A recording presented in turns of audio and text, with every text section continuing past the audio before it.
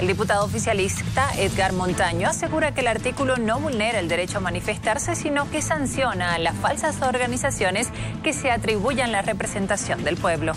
Falso Queremos decir al pueblo cruceño que eso es mentira. De esta manera, el diputado del MAS, Edgar Montaño, negó que el artículo 294 del Código de Procedimiento Penal afecte el derecho a la protesta que según él está garantizado. Somos los defensores, los primeros defensores. ¿Cómo vamos a estar realizando un artículo para que no se puedan manifestar en las calles? El artículo 264 eh, del Código Penal y por lo tanto se refiere justamente a organizaciones fantasmas que quieren hacerse eh, pasar por organizaciones eh, que existen ya. Por lo tanto, podemos dar un ejemplo es los eh, ex dirigentes del TIME, que no son más de cuatro, pero se hacen pasar pues por organizaciones sociales. La autoridad asegura que hay una mala interpretación del polémico artículo. Eso es tener protagonismo o mala interpretación que tiene la diputada en este sentido. La constitución política del Estado da la libertad de expresión, la libertad a poder manifestarse en las calles. No hay por qué alarmarse.